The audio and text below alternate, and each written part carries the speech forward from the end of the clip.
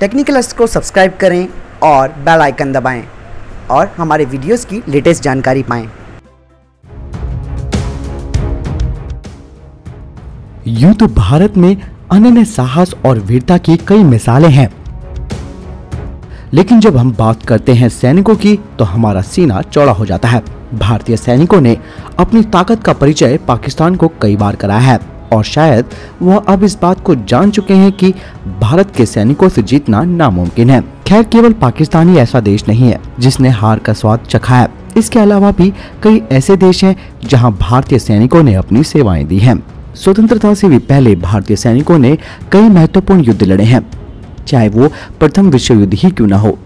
इसके बाद द्वितीय विश्व युद्ध फिर मिस्र, Burma, Malay, Hong Kong, Korea, Japan, Europe, फिलिस्तीन या इसराइल के हाइफा शहर का युद्ध ही क्यों न हो, जिसने सेना और उनके रेजिमेंट ने दुश्मनों को घुटनों पर ला दिया। इस कड़ी में आज हम आपको कुमाऊं रेजिमेंट के बारे में बताने वाले हैं, जो अपनी निडरता और बहादुरी के लिए प्रसिद्ध है। इस रेजिमेंट की स्थापना करीबन 200 साल पहले हो चुकी थी। भारतीय सेना की कुमाऊं रेजिमेंट की बुनियाद ब्रिटिश काल के दौरान 18वीं शताब्दी में पड़ी। ये वो समय था जब भारत में अंग्रेज़ों ने अपने पाँव जमा रखे थे और कुमाऊं पर हमला कर लिया था। इस तरह एक ब्रिटिश निवासी, सर हेनरी रेसेल को 19वीं हैदराबाद रेजिमेंट बनाने का श्रेय दिया जाता है। कुमाऊं रेजिमेंट की जड़ें हैदराबाद से जुड़ी हैं। हालाँकि, इनका इतिहास 1788 ईस्वी से बतौर हैदराबाद के नवाब सलवत खां के रेजिमेंट से शुरू होता है। माना जाता है कि सन सत्रह सौ चौरानवे में इस रेजिमेंट का नाम रेमेंट कोर था। करीब 20 साल तक कुमाऊं रेजिमेंट हैदराबाद रेजिमेंट का हिस्सा थी। और निज़ाम की 19 हैदराबाद रेजिमेंट के साथ संयुक्त रूप से मिलकर कई अहम लड़ाइयाँ इन्होंने लड़ी। फिर इसका नाम बदलकर कंटीजेंट रख दिया गया। वहीं सन 1903 में इस रेजिमेंट को भारतीय सेना का अभिन्न हिस्सा बना दिया गया।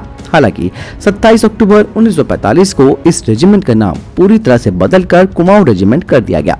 कुमाऊं रेजिमेंट का आधिकारिक चिन्ह पर शेर बना हुआ है, जो एक क्रॉस का निशान पकड़े हुए है। असल में शेर को निडर जानवर कहा जाता है। कुमाऊं रेजिमेंट के आधिकारिक चिन्ह पर शेर को दर्शाया गया है, जो कुमाऊं रेजिमेंट की बहादुरी और जज्बे को दर्शाता है। भारत की आज़ादी से पहले कुमाऊं रेजिमेंट के जवानों ने कई अहम मौकों पर कुर्बानियाँ दी।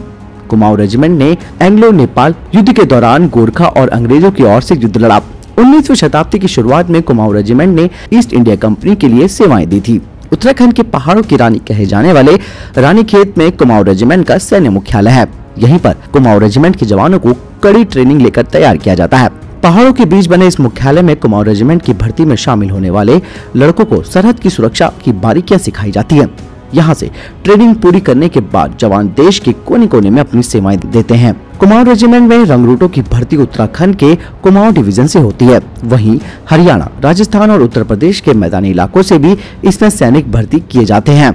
इस रेजिमेंट के पास कई ऐसी उपलब्धियाँ हैं जो भारतीय सेना के नाम को बुलंदियों तक पहुंचाती है। आपको जानकर ताजुब होगा कि भारत को पहला परमवीर विजेता देने वाली कुमाऊं रेजिमेंट ने ही भारत को तीन बार थल सेना अध्यक्ष भी दिए हैं। तेरह अप्रैल उन्नीस सौ चौरासी का दिन आखिर कोई भारतीय कैसे भूल सकता है? जब भारतीय सेना ने पाकिस्तानी सेना को मात देते हुए कश्मीर के सियाचिन की बर्फीली पहाड़ी पर शान से तिरंगा फहराया था। ऑपरेशन मेघदूत नाम इस सैन्य मिशन में भारतीय सेना ने सियाचिन की बर्फीली चोटी पर दुश्मनों के खून से जीत की गाथा लिख दी। आपको बता दें कि सियाचिन ग्लेशियर दुनिया का सबसे ऊँचा युद्ध क्षेत्र है। फोर्थ कुमाऊं रेजिमेंट ने ऑपरेशन मेघदूत का शुभारंभ किया और सियाचिन ग्लेशियर से पाकिस्तानी दुश्मनों को खदेड़कर उस पर दोबारा से अपना कब्जा किया। कुमाऊं रेजिमेंट भारतीय सेना का एक चमकता सितारा है। मेजर सोमनाथ शर्मा भी इसी रेजिमेंट के एक सितारे हैं, जिन्होंने इसका नाम इतिहास के पन्नों पर दर्ज करा दिया। मेजर जनरल अमरनाथ शर्मा के बेटे मेजर सोमनाथ शर्मा ने कुमाऊं रेजिमेंट में 22 अक्टूबर 1942 को कमीशन प्राप्त किया था। और रेजिमेंट में उनकी तैनाती के कुछ सालों बाद ही जम्मू कश्मीर के बड़गांव में पाकिस्तानी सैनिकों से लड़ते हुए वे शहीद हो गए। Major Somnath Sharma, fourth Kumaon regiment, पहला परमवीर चक्र, मरणोपरांत प्राप्त करने वाले सैनिक थे। परमवीर चक्र भारत का सर्वोच्च सैन्य पुरस्कार होता है। इसी के साथ कुमाऊं रेजिमेंट इस पुरस्कार को पाने वाली पहली रेजिमेंट थी। मेजर सोमनाथ शर्मा ने पाकिस्तानी सैनिकों को बड़गाम में ही रोक दिया और अपनी जान की परवाह न करते हुए दुश्मन को मारते रहे। इंडियन आर्मी की हर रेजिमेंट का एक अपना आधिकारिक युद्ध नारा है और आदर्श वाक्य होता है। ठीक कुमाऊं रेजिमेंट का भी अपना वाक्य है। पराक्रमो विजयते जिसका मतलब बहादुरी की विजय होती है। वहीं इस रेजिमेंट के चार युद्ध घोष है। कालका माता की जय, बजरंग बली की जय, दादा किशन की जय और जय दुर्गा नागा। कुमाऊं रेजिमेंट की 1948 को कश्मीर के बड़गांव से शुरू हुई वीरता की चाल और अन्य बहादुरी ने कई पुरस्कार अपने नाम किए।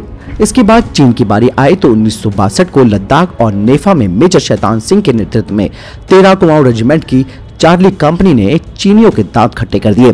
मेजर शैतान सिंह को अपनी वीरता और शौर्य के लिए मरणोपरांत परमवीर चक्र से सम्मानित किया गया।